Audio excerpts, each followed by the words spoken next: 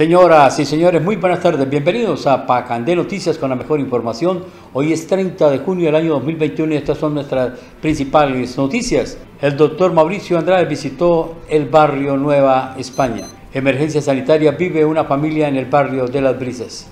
Los niños del Colegio Santa Lucía celebraron el San Juanito. Las basuras, una problemática que viven los habitantes de la vereda de Las Brisas. Los natagaimunos celebraron el triunfo del Deportes Tolima. Leslie Paiva Garibello entrevistó a la señorita Tolima Carol Vanessa Caballero.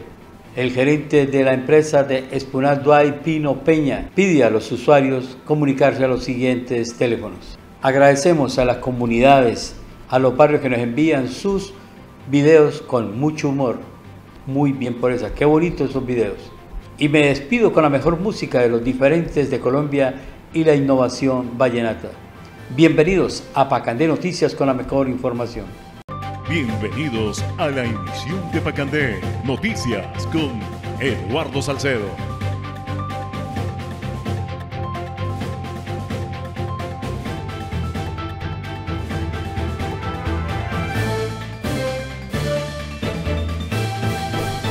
El doctor Mauricio Andrade visitó el barrio Nueva España. Las fuertes lluvias vienen ocasionando daños en varios sectores del municipio, perjudicando la entrada y salida de sus habitantes en los barrios de Nueva España y 20 de julio, como también en algunas veredas del municipio, lo que provoca la reacción de sus habitantes, haciendo un llamado urgente a la administración y secretarios de despacho, donde acordaron para hoy 30 de junio el arreglo de sus vías. Eh, sí, tengo muy buenas tardes, querida audiencia del municipio de Natagaima, a usted, señor periodista Salcedo, profe, eh, sí, no, esto nos vimos abocados a esta situación porque para la muestra un botón, pero nos estamos mirando a nivel nacional.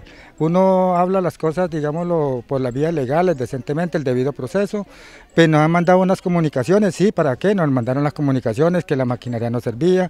Entonces, motivos por los cuales yo también le dije yo al alcalde que no estaba acá, ya en este momento no estamos en el proceso de, de taponar las calles, la calle por estas circunstancias, porque aquí pasa mucho anciano, mucha gente de la tercera edad, es muy transitoria.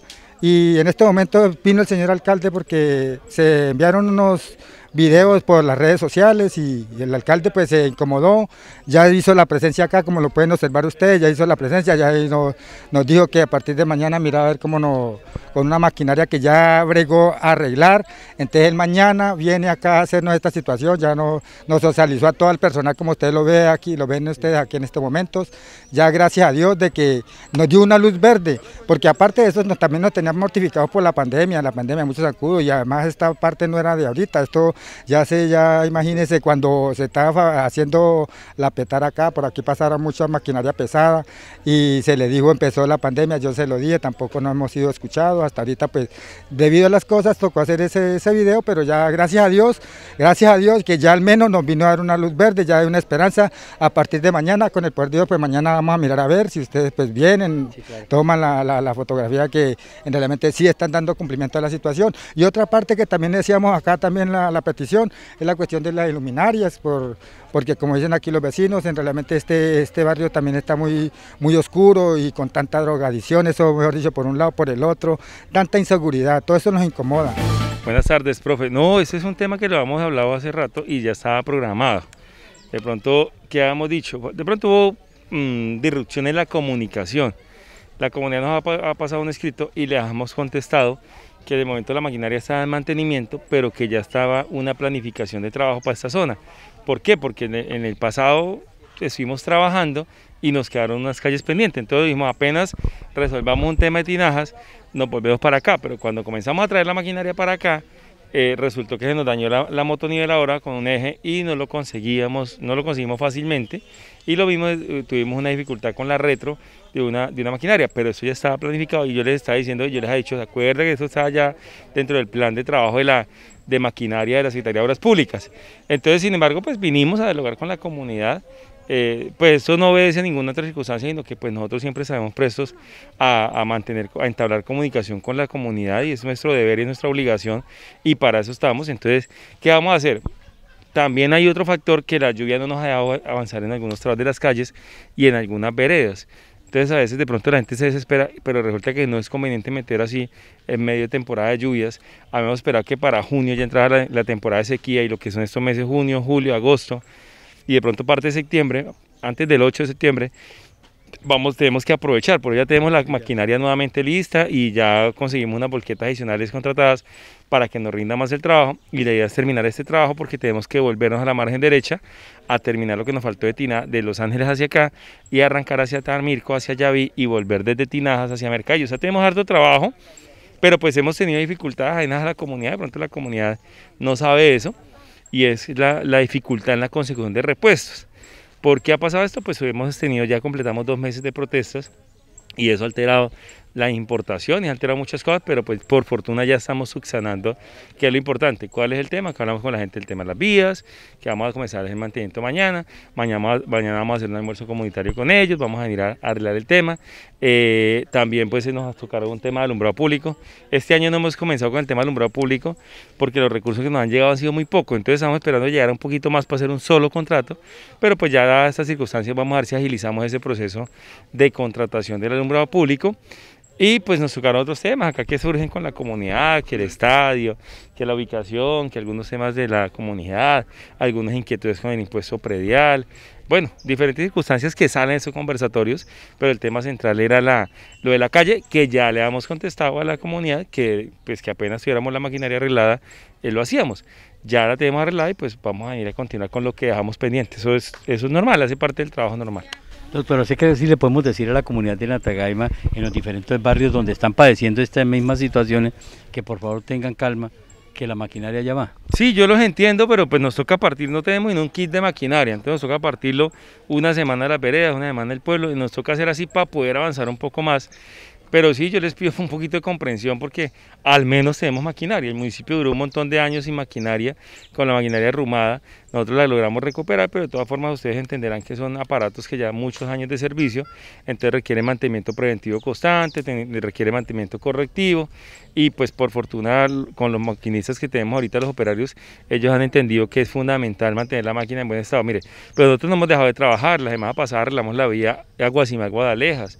¿Qué pasó? Que estos encuentros con la comunidad nos sirven porque nosotros fuimos y planteamos lo mismo. Entonces dijimos, venga, mire, usted tiene una necesidad, hay que arreglar la vía, nosotros ya tenemos el recebo, porque tenemos el contrato, tenemos la volqueta arreglada y tenemos una retro no tenemos ahora, entonces dijimos, venga, eh, si nosotros regamos el material, ustedes nos ayudan a regarlo, la comunidad dijo que sí. Y resulta un señor que es agricultor, que dijo que tenía un aparato, una pala que él utiliza para sus cultivos, para nivelar, y él dijo, hágale y yo les nivelo. Y el señor nos hizo, entonces nos facilitan las cosas. A veces es importante que la comunidad no sea solamente parte del problema, sino que parte de la solución. Y para uno como gobernante también es bastante satisfactorio. Porque este tipo de cosas terminan aprovechándolo algunas personas que ni siquiera conocen los barrios, que ni siquiera conocen la problemática del municipio, para comenzar a vender un mensaje negativo. No, la gente eh, tiene derecho a reclamar lo suyo y nosotros estamos en la obligación de generar garantía de derechos y esa garantía de derechos es cumplirle a la gente. Esto, con estos diálogos se resuelven las dudas y comienzan a salir cositas muy buenas. Mire, ahorita nos acaba de subir con la gente un almuerzo comunitario, lo invitamos mañana, profe, vamos a hacer un sancochito. El uno dijo yo pongo la olla, el otro dijo yo tengo el, unos cachacos, entonces ponemos las cosas entre todos, hacemos un almuerzo acá y venimos, arreglamos la carretera y, hacemos cosas importantes con la gente, que es a lo que nosotros le estamos apostando y le estamos trabajando. Y pues uno quisiera tener contento a todo el mundo, pero hay personas que pues están con sus intereses eh, de, otro tipo diferente, pero no, representan los intereses de la comunidad, no representan los intereses comunitarios. Por eso nosotros venimos, hacemos ese trabajo con la gente, en los bares, nos reunimos, lo escuchamos y estamos acá resolviendo. Pero, y, y, le quedó claro a la gente que este trabajo ya estaba organizado. Eso no fue que ahorita, incluso un habitante de acá en la zona había estado el sábado pasado en la oficina y yo le dije, hermano, si esta semana arreglamos la maquinaria, apenas la arregle le mando la maquinaria porque eso es un compromiso, ya está planificado, eso ya, está, ya estaba programado. Bueno, doctor, muchas gracias y esperamos de que todas estas novedades que se presentan sean solucionadas lo más pronto posible. Tenemos fe de lo que usted hace con su maquinaria.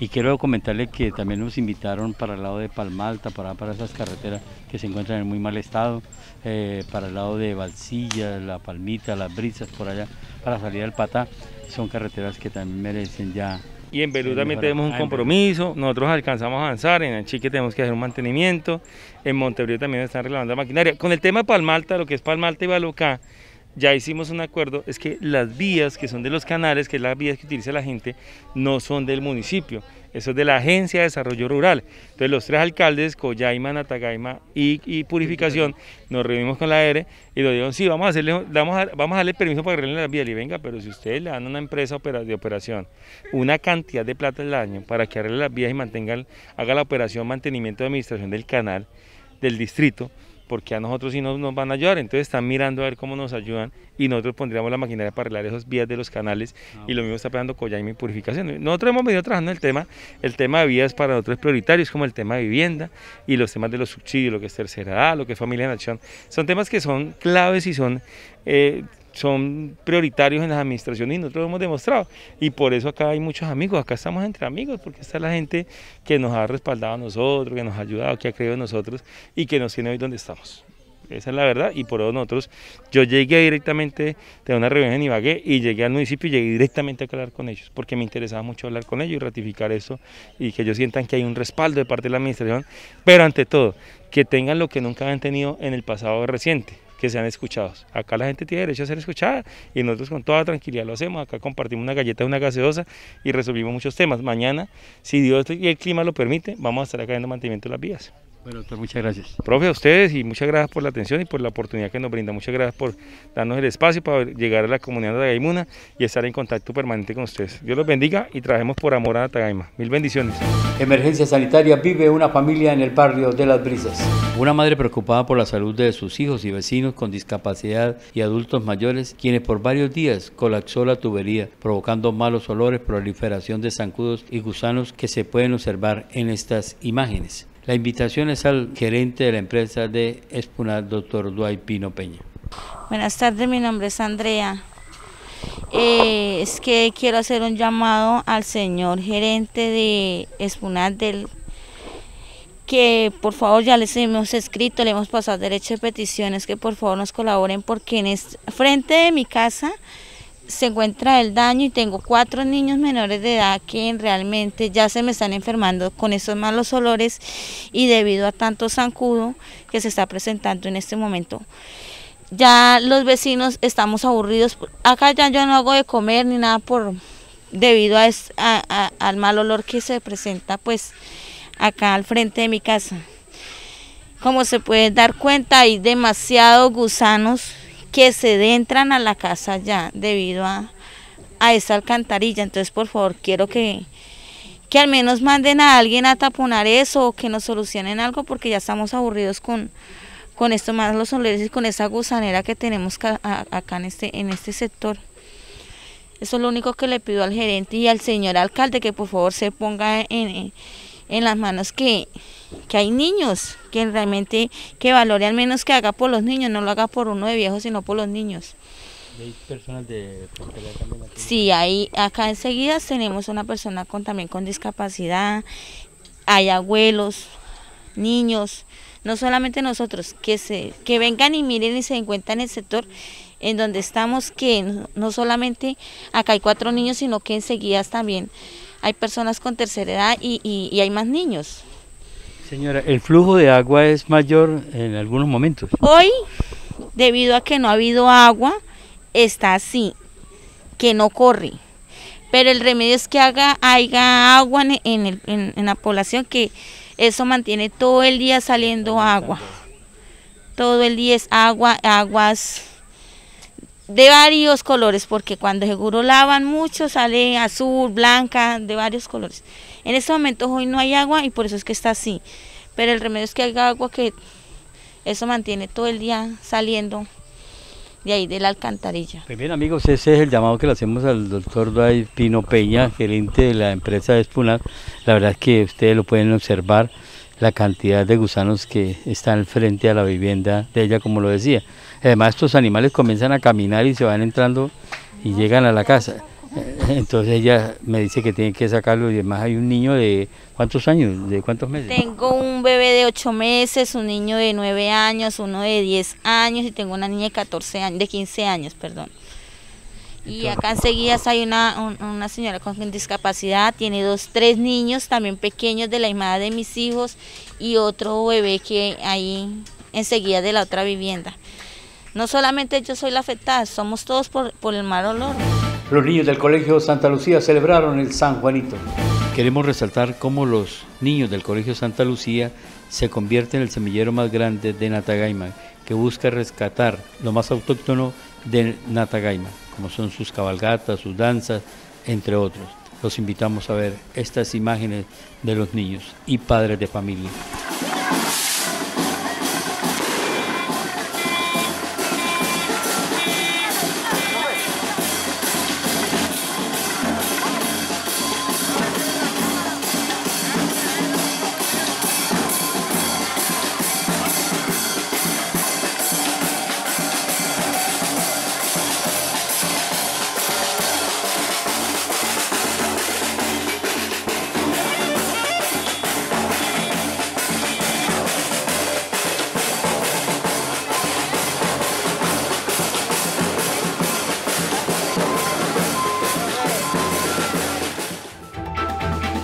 Las basuras, una problemática que viven los habitantes de la vereda de Las Brisas.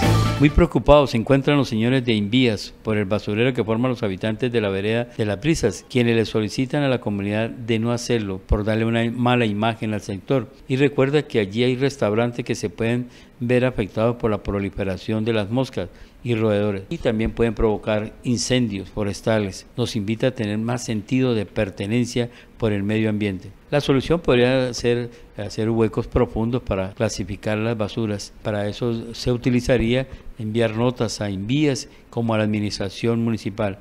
Lo mismo se tendría que hacer en la vereda de la Palmita para evitar la contaminación de muchos sectores donde se arrojan mucha cantidad de basura. Yo le agregaría otra cosita más a, esta solución, sería buscar familias que quieran clasificar las basuras. Entonces ahí hay una fuente de entrada, que como sean clasificando basuras, clasificando láminas, bueno, lo que se hace para reciclar. Sería enviar una nota urgente a Envías, como también a la administración, para que evitar que se sigan botando estas basuras a la orilla de la carretera panamericana. Los invito para que escuchemos la entrevista con el señor William de Invías. Don William, muy buenos días. Señor. Eh, lo felicito por la actividad que están haciendo. Gracias, hermano. ¿Y cuál es la recomendación que usted le da a la gente, don William? No, hermano, pues nosotros hemos tratado de hablar con la misma comunidad acá, que ellos que tienen esos restaurantes, por lo menos no deben hacer esto, porque yo que voy a almorzar a veces ahí, y es buscar que mantiene aquí, mantiene encima. No debería ser así, por lo menos tener un área más lejita del área donde ellos trabajan. Porque ellos venden es comida, y uno debe procurar de que la gente no se dé cuenta de esto que está sucediendo y botando la, la, la basura en la propia casa después. ¿sí? Por eso es que una, yo creo que una de las recomendaciones que yo le decía a la gente también es que les hagan un pozo, un hueco, para que ellos arrojen la basura y la clasifiquen. Sí, claro, es- esa sería la otra, pero autovías no sé por qué razón no le dan, no le dan ese permiso a hacer, ellos iban a hacer el pozo para que ellos depositaran la basura, pero no adquirieron ese permiso para, para poderlo hacer por acá cerquita. Pero sí por lo menos dejar la basura en un bolsa adecuadamente, como un reguero de esos tan horrible que le da mala presencia a uno, que es el dueño del pueblo, botando basura en- en- prácticamente en el patio de la casa. sentido de pertenencia de la gente no, lo- no existe. Lo perdimos, mire, sin hablar- yo tuve la oportunidad de, de andar las carreteras de Medellín y no hay una botella botada en la carretera, no hay ni una, porque tienen ese sentido de pertenencia que no tenemos una cultura que no tenemos en el Huila ni en el Tolima. Es al que más bote basura, que como para eso le pagan a ellos para que recojan, a nosotros nos pagan y si la botan mil veces la recogemos. Pero no es- ese no es, ese no es el hecho, porque nosotros lo hacemos con cariño porque para eso nos pagan y uno todo el trabajo que, que hace debe hacerlo con cariño porque para eso Dios nos permite que nos paguen. Pero ellos están quedando muy mal ante el pueblo de ellos mismos. Un basurero de esto, usted que es un turista y viene y lo primero que encuentra es un basurero a la entrada donde la comida, usted no para, sigue de largo. Don William, muchas gracias, muy amable por este concepto valioso que que lo vamos a poner a. Bueno, muchas gracias. Nosotros trabajamos con- tratamos de hacer lo mejor por toda Colombia. Esa es la idea. Los natagaimunos celebraron el triunfo del Deportes Tolima. No podíamos dejar pasar por alto el desfile y el triunfo del Deportes Tolima que provocó en todo el departamento y partes del país su euforia por dicho triunfo, presentándose desfiles en la ciudad musical de Ibagué y municipios del departamento. Felicitaciones al Deportes Tolima y al técnico Hernán Torres.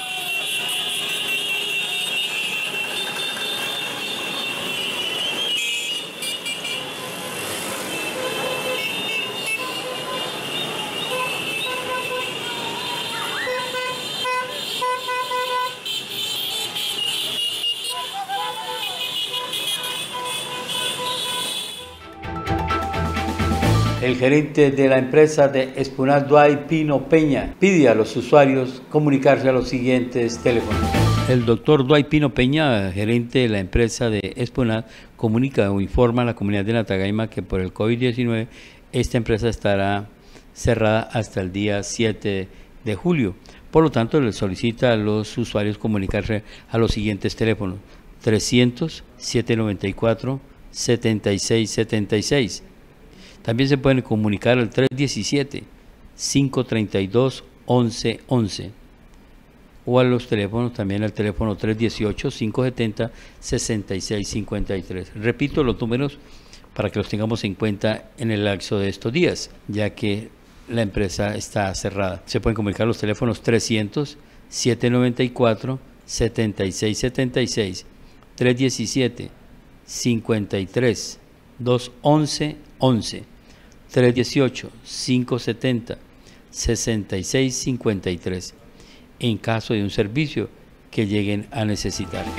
Agradecemos a las comunidades, a los barrios que nos envían sus videos con mucho humor. Muy bien por esa. Qué bonitos esos videos. Agradecemos a las comunidades de la zona urbana como rural por el envío de sus videos, que lo hacen con humor, eso, muy bien, para dar a conocer sus problemáticas.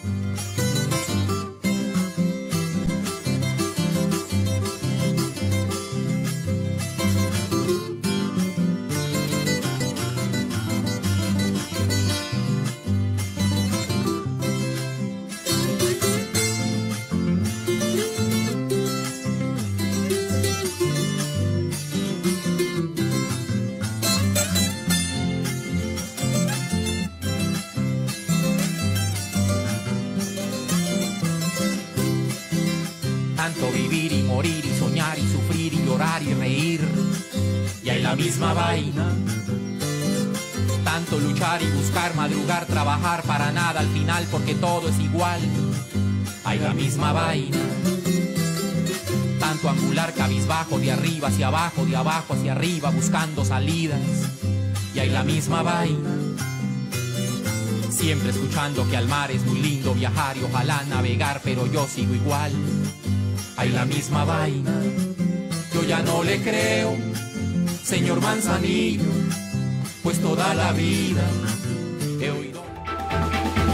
Leslie Paiva Garibello entrevistó a la señorita Tolima Carol Vanessa Caballero.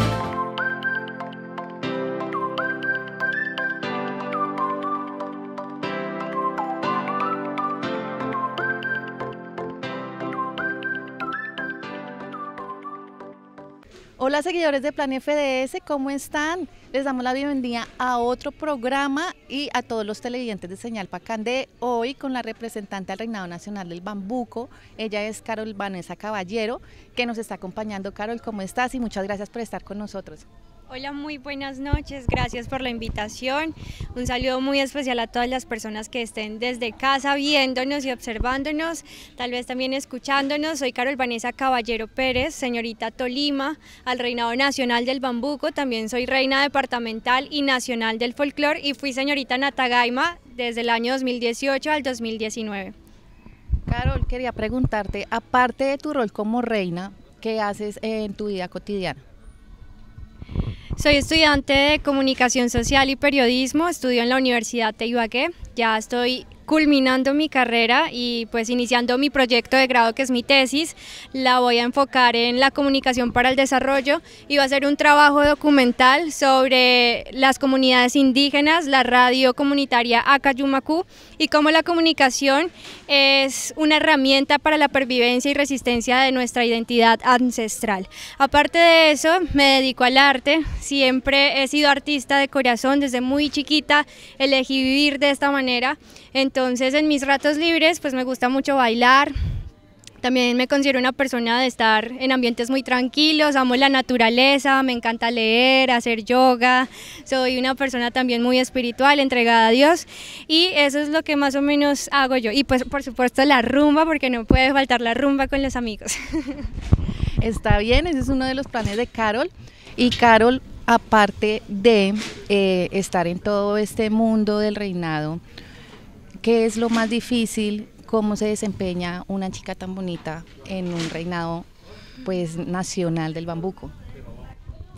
Siempre pues van a haber chicas pues mucho más llamativas eh, que uno, digamos que yo soy una persona de belleza natural, en los reinados también puede que hayan chicas que tengan operaciones o tal vez resalten por esa belleza, pero lo que, por decirlo así, mi arma secreta siempre ha sido hacer las cosas de corazón, hacerlas con amor, el transmitir ese amor que yo siento por la cultura y por el folclore.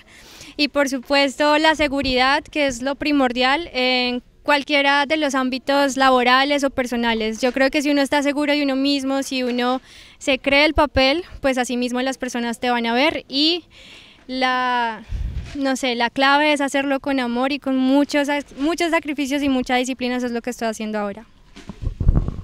Ya, por último, para finalizar, ¿de dónde nace esa vocación y ese amor por ser reina? Eh, nunca tuve como en mente serlo, que yo dijera, bueno, quiero ser reina, quiero ser reina nacional del folclore, jamás me lo imaginé, pero fue desde muy chiquita, los pinitos, yo creo que la infancia, siempre lo he dicho, es lo que marca al ser humano, entonces mi abuelita, mi familia paterna, por parte de mi tía, ellos me enseñaron la música, me enseñaron el arte, la danza folclórica, y fue aquí en Natagaima, en la meca del folclore, que inició todo ese amor por, por la cultura, fueron ellos los que me buscaron para representarlos y en el 2018 con mucho amor eh, yo representé al barrio centro, desde allí inició todo, yo estaba súper ciega a lo que se venía, pero fue mi responsabilidad siempre, porque más que portar una banda o ser bonita o tener talento, es una responsabilidad que uno tiene con su gente, con el municipio y pues ahora con el departamento. Es una representante muy linda que eh, le deseamos toda la suerte y todos los éxitos para que le vaya muy bien pues en este Reinado Nacional del Bambuco del 2021. ¿Cuál es tu plan de fin de semana, Carol? Pues ahorita que he tenido unos días tan ajetreados y que he estado muy cansada, siempre recomiendo un plan así que te relaje independientemente de si sea salir con amigos, tomarse algo, ir a cine, pues ahorita por pandemia no se puede mucho hacer eso, pero también como te digo, me encantan los espacios abiertos, la naturaleza, y ese es uno de mis planes favoritos en Ibagué, subir a Villarrestrepa, al Cañón del Conveima, y pues enamorarme de esa hermosa vista y de la capital musical. Bueno, seguidores y televidentes, ustedes ya saben un plan que pueden aplicar a su fin de semana. Nosotros nos despedimos, nos vemos en un próximo programa y muchas gracias por estar atentos y pendientes de cada uno de nuestros episodios. Hasta la próxima.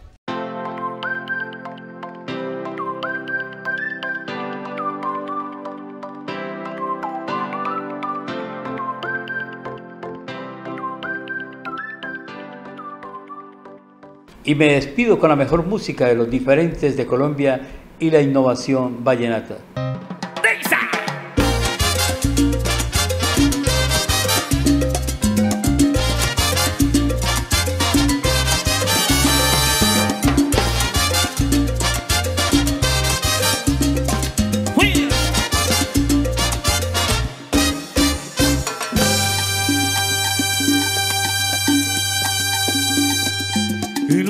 1600,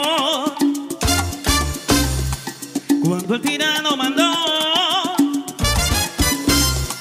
la calle de